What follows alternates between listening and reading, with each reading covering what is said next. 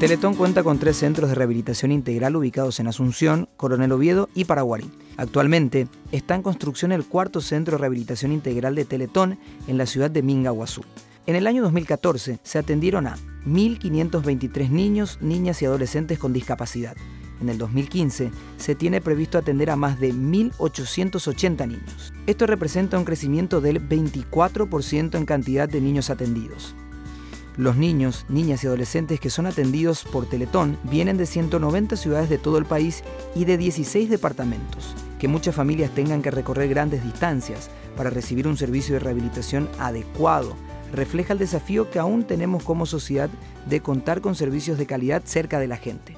Teletón presta un servicio de rehabilitación individualizado y de alta calidad. Cada niño que ingresa a Teletón es recibido por un equipo terapéutico integrado por profesionales de 26 especialidades del área médica, educativa, social y psicológica, que trabajan de manera coordinada para organizar y cumplir un programa al servicio de un niño, niña o adolescente y su familia.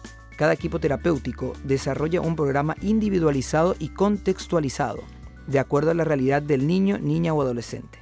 En el año 2015, se proyecta prestar más de 113.000 atenciones, una cifra muy superior a las 89.332 atenciones realizadas en el año 2014.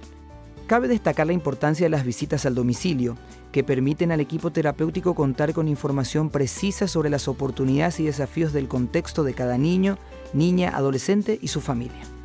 Para que Teletón pueda llevar a cabo su misión, cuenta con un presupuesto que en el año 2014 fue de 16.130.516.223 guaraníes. El 89% del presupuesto se generan gracias al evento Teletón. El resto se debe a otras fuentes de financiamiento. El 34% de lo recaudado en el evento Teletón se da gracias a las empresas con responsabilidad social que son patrocinadoras. Y el 66% se recauda gracias a la ciudadanía que va al banco o a otros puntos de recaudación a donar o que dona enviando mensajes de texto o a través del sitio web. Esto refleja la importancia de la participación de la gente, que muchas veces se organizan en grupos de voluntariado, por ciudad, colegios o empresas para hacer una colecta y donar a Teletón. De todo lo recaudado en el año 2014, el 79% fue destinado a servicios de rehabilitación, mientras que el 15% fue destinado a campañas de sensibilización y recaudación, y el 6% al pago de impuestos. Toda la gestión de la fundación está auditada por una importante empresa de auditoría y cualquier persona puede acercarse a la fundación para conocer mejor los números y saber cómo se invierten los recursos. El desafío permanente de la Fundación Teletón es honrar la confianza de la gente. Teletón rinde cuentas.